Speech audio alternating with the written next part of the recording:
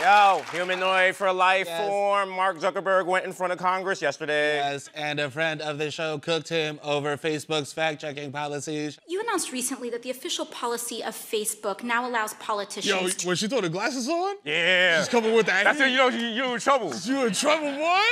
Also, I would just like to say you don't really want a Puerto Rican from the Bronx asking you questions. Like, that's a lot of pressure there. You're like, ah. Facebook now allows politicians to pay to spread disinformation. Could I run ads targeting Republicans in primaries saying that they voted for the Green New Deal?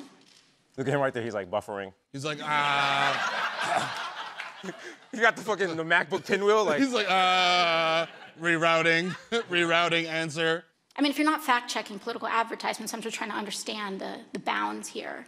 What's fair game? Ooh, she hit him. Yeah, she hit him with the Puerto Rican shorty. Like, yo, so, so if you don't like her and and y'all not fucking around, why would you like her photos?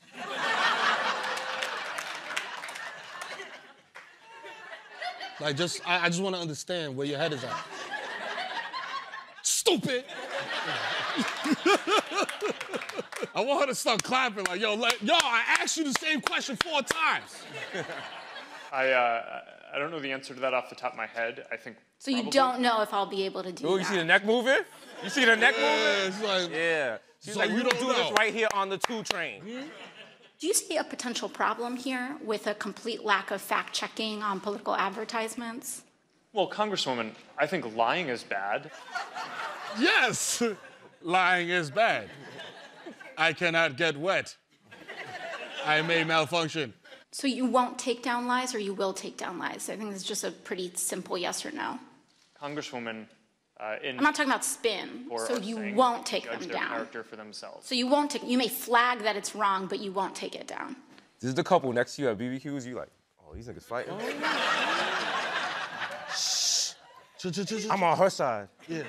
Yo, stop looking, stop looking. They, they, they, they, they-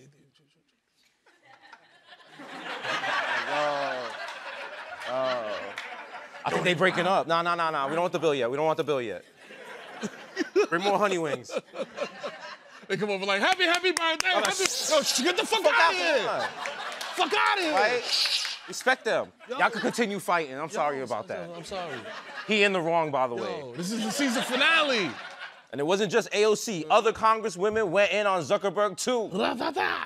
Mr. Zuckerberg, I, um, as you know, Facebook can be sometimes an unkind place, um, both toward my personal appearance and today apparently toward your haircut. Ooh, Wow. Wow.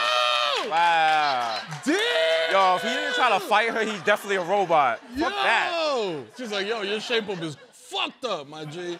Are you guys still on Facebook? Nope. Hell no. But it doesn't matter because even if you left Facebook, if you're still on Instagram, you're still on. You're still on Facebook. Because I was like, yo, I respect privacy. I respect, I want my personal freedom. You know, I want that. But I'm still want to look at yeeks. So, I, you know, it's just, what do you do? What do you do? What do you do? Democracy! Titties! Ah!